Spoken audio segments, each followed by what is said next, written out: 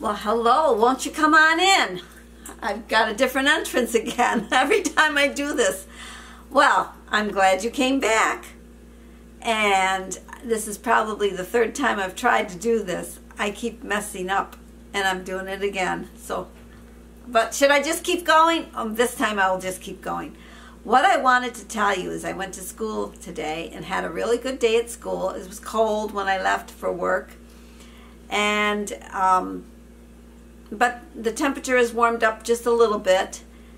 And when I went out to the car to bring the little boy out to the car, his mom handed me a gift, and in the gift was this this little plaque, and it says, "Best teacher ever."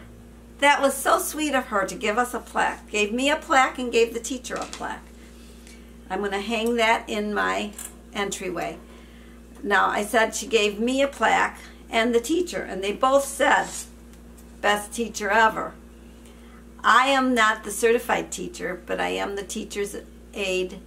I, am the classroom aide in the room, and which means I am just like a teacher, just I don't have the certificate. So that was what happened today. That's it. All done. Goodbye.